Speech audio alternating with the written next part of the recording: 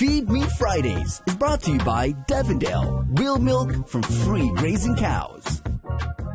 Ho, ho, ho, holiday. Happy holidays, everyone. Welcome to another edition, a special holiday one of Feed Me Fridays. Nick Delgado here from the KUAM News team. Well, we have to try another delicious drink provided to us from Island Girl. Also, thanks to Devondale for getting us in the mix here with it all. Peppermint Mocha Cold Brew. Let's try it out. Whoa. I'm feeling the holiday spirit in this one, guys. The chocolatiness, the mocha, the peppermint, not too much, not too little, just right. I know, little Goldilocks there reference, but uh, it's just the right mood to get you feeling the Christmas spirit, feeling that holiday spirit, and get you out there while you get that shopping list, everything checked off, because you know that all of you are on the nice list? I think so. Hmm. My favorite Christmas movie uh, has to be Elf.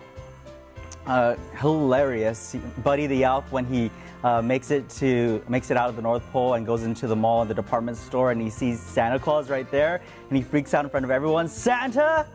But then Santa, not a pretty nice guy, he says here, Santa, you stink. You smell like beef and cheese. You don't smell like Santa. I just always thought that that scene and everything else in that entire movie had me cracking up and really just beefed up the, the my spirits for the holiday season. My favorite Christmas song is This Christmas by Chris Brown. Hang on the mistletoe, I'm gonna get to know you better. Mm-hmm.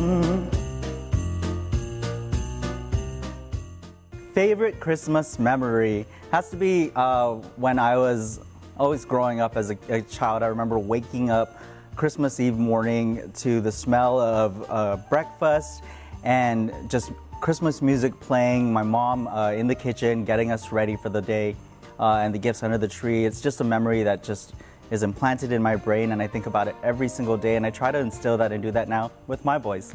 Well guys, thanks for joining us for another holiday edition of Feed Me Fridays. We of course want to thank uh, Island Girl for this peppermint mocha cold brew. Check it out and Devondale for sprucing it up of course. We'll see you next time. Happy holidays.